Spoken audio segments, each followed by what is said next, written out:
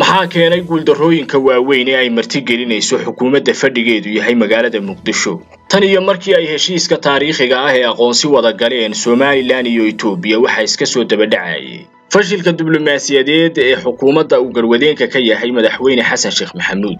Haddaba maxaa keenay inay fadeexooyin waaweyn oo siyaasadeed martigeliso dowladda soomaaliya?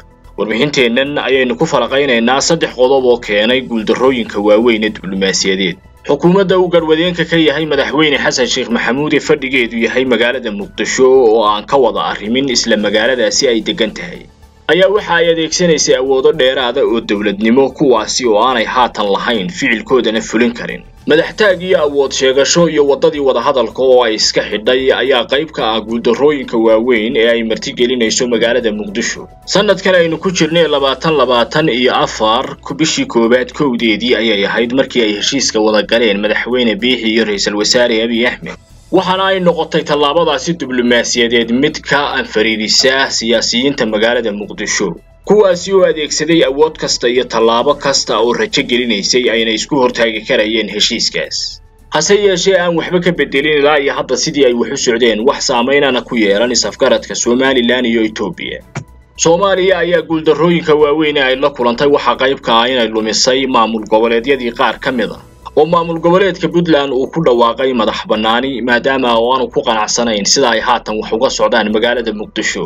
Waxaana kow ka ah sababaha horseeday guuldarrada siyaasadeed iyo tan diblomaasiyadeed ee ay xukuumadda madaxweyne xasan sheekh maxamuud martigelinayso awood aanay lahayn oo ay adeegsanayso maadaama oo somalilan ay ka madax bannaan tahay saddex iyo soddonkii sannadood ee ugu dambaysayna goonni u taag iyadoo oo markii horena la midowday soomaaliya kun sagaal boqol iyo lixdankii oo ay ahaayeen laba waddan oo isku biiray. Shacabka somalilan ayaa kun sagaal boqol iyo koob iyo sagaashankii sababtii ay u gaadheen go'aanka waxa ay ahayd. Muquuninta magaalada muqdisho iyo awoodda dowladnimo oo la isu adeegsanayo iyada oo waddadaasi ay ilaa iyo haatan saaran tahay soomaaliya. Hase yeeshee maanta waaqicii iyo waayihii ayaa isbedelay oo muqdisho hargeysa uma adeegsan karto awood balse siyaasiyiinta ka arrimiya magaalada muqdisho ayaa ilaa iyo haatan waxa ay aaminsan yihiin dowladdii awoodda badnayd ee ka talinaysay deegaamada soomaalida oo dhammi inay jirto maadaama oo aanay runta waajihi karayna waxa ay door bideen in ay hadallo aan ficilkoodu fulaynin ka soo saaraan magaalada muqdisho. Waana sababta ugu weyne horseeday guuldarrada siyaasiyiinta iyo dowladda uu garwadeenka ka yahay madaxweyne xasan sheekh maxamuud. Lambar laba qodobada lagu heshiiyo oo aanay fulinayn siyaasiyiinta soomaaliya ka arrimiya ee u kala dambeeyey talada waddankaasi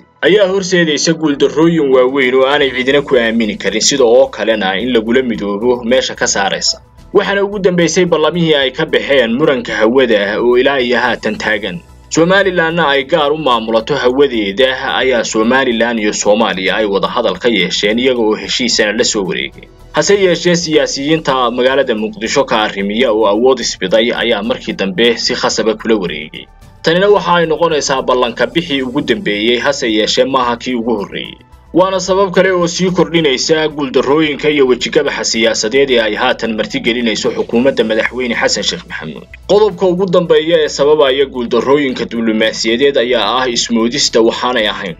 Siyaasiyiinta magaalada muqdisho ayaa marka ay hadlayaan waxa ay isu haystaan inay ka arrimiyaan deegaamada soomaalida oo dhan oo ay awooddoodu ka socoto sida oo kalena ay ka fulin karaan ficillo hase yeeshee runtu sidaasi way ka duwan tahay oo magaalada muqdisho ayaanay wada maamulin nabadgelyadeedana ay ilaaliyaan ciidamo shishay. Tanina waa sabab kale oo kala fogaynaysa iyaga iyo xaqiiqada iyo waddanka ay ka taliyaan waaqica dhabta ah ee ka jira. Kuwanina waxa ay ahaayeen sababaha horseeday guuldarrooyinka isdabajooga ah ee ay martigelinayso xukuumadda uu hogaamiyo madaxweyne xasan sheekh maxamuud. Maandeeq suber steel ayaa kuu keentay dharkii carruurta iyo ragga oo jumlada iyada oo qiimo dhimis ballaaran kuu samaysay munaasibadda ciidda ee fooda inugu soo haysa awgeed. Waxayna ku taallaa magaalada hargeysa ee caasimadda somalilan agaga arka basaska cabaaye halka ay qaybta kalena ku leedahay magaalo ganacsiyeedka togwajaale wixii faahfaahin ee dheeraadana kala xidhiidh lambarrada shaashadda kaaga muuqda